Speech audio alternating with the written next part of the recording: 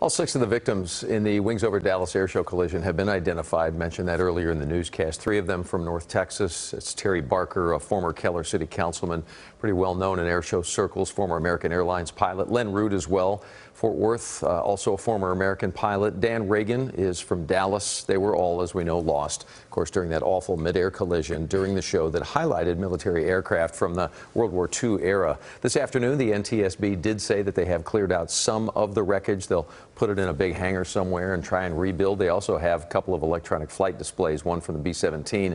They say they got a GPS unit from the P-30, uh, P-63 fighter. They hope to maybe get some helpful data from those instruments. And what happened at the air show, it, it was horrible. It was heartbreaking, but it brings us to a man who literally travels the world trying to help grieving communities, and he does it through his art. But this weekend, tragedy hit so close to home for Roberto Marquez with this air show crash. Yeah, as CBS 11's Brooke Rogers now showing us, he responded as he always does. He went to work. Most people veer away from tragedy, but Roberto Marquez runs toward it, paintbrush in hand. Right away, I made the decision that I, I wanted to come and uh, work on the memorial.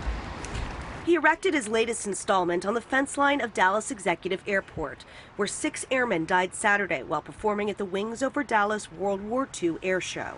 Marquez actually lives in Oak Cliff and was in the area the afternoon of the air show crash. He says he went home, gathered some lumber and a mural he'd been working on, and knew he'd spend the rest of the weekend creating this memorial.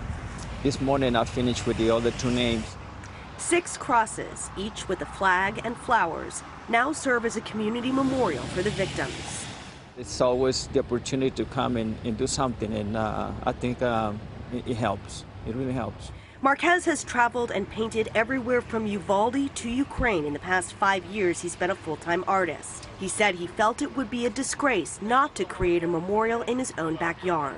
I think it's a responsibility, not only as an artist, but as a human being, that I feel people feel good, and also it makes me feel good doing it. He doesn't know how many memorials he's created or how long this one will remain. He'll be on to another one, but he hopes he's leaving something tangible and meaningful behind. And I've been, been thankful for many people that come and say, we like what you're doing, and uh, that gives me strength to keep on doing it over and over. In Dallas, Brooke Rogers, CBS 11 News.